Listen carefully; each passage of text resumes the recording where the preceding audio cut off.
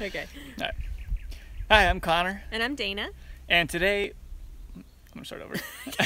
I don't like my face. My face.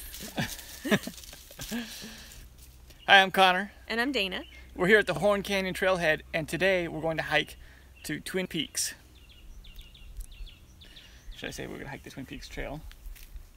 Um, no. So we're just past the first water crossing on the Horn Canyon Trail. But if you're headed to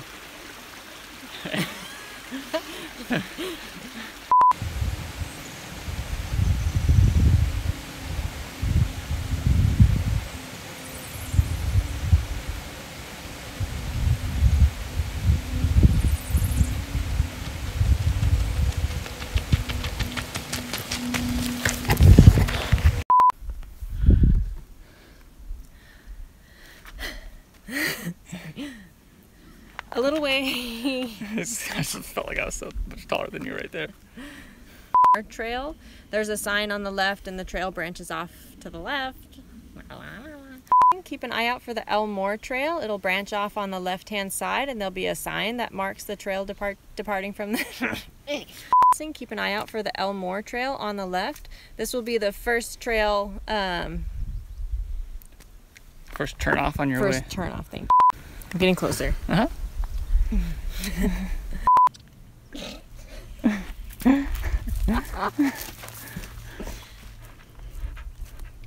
Bean, nice hat. Hold on.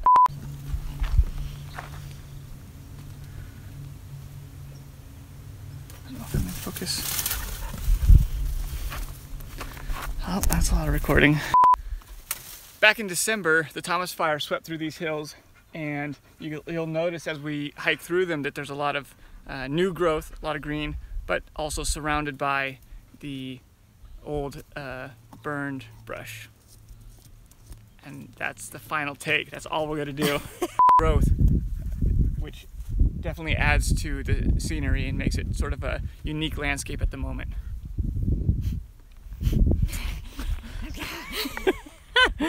but the nice thing about it now is that since there's been a few rains and we're a little further on past the fire, there's lots of new growth, which makes for a really interesting landscape. Lots of green, lots of black, and very curious. That's better. Better. It's not. Just a little further up on the trail, uh, you'll see the Twin Peaks Trail, which is the trail you want to take when you're trailing.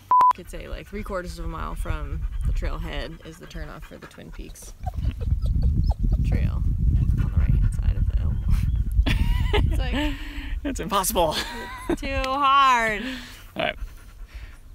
Just a little further up, you'll find the Twin Peaks Trail on your right. From here, it's pretty much, there might be a little bit more that's relatively even, but it's going to be pretty steep from here on out.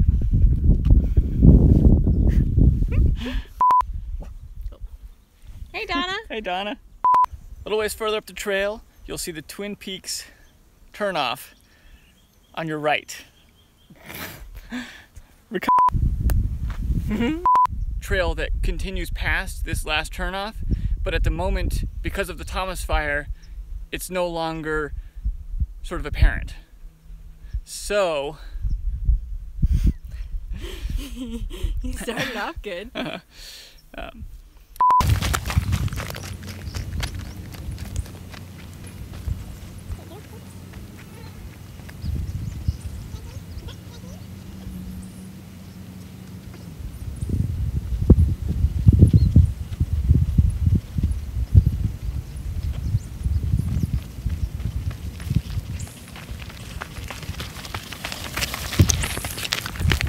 It's two and a quarter miles from when we started at the Horn Canyon Trailhead to the very top. And I should stop saying and at the end of every sentence. Just let it stop, then I can. You already recording. Uh huh, yeah, I got you. Great. So this last section with the switchbacks coming up to the peak is the steepest part of the trail, or one of the steepest parts of the trail. trail review because it's actually a really special trail for us. Connor proposed to me up here uh, two years ago, two and a half years ago. um, and anyways, it was really special. Uh, it was actually, uh, let's start over. So this last stretch after the saddle with the switchbacks on the side of the mountain on the trail on the way to Twin Peaks. Stop. Let's talk about Los Padres first. So we're hiking in the Los Padres National Forest today. Yay! Woo! You're in the Los Padres National Forest.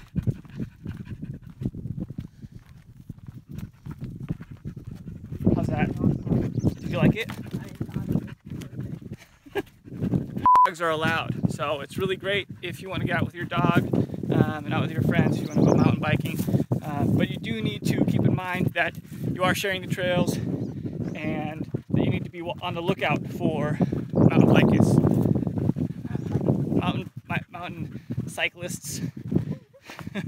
uh, but you do need to be on the lookout for mountain bikers, uh, horseback riders when they're on horses, and dogs.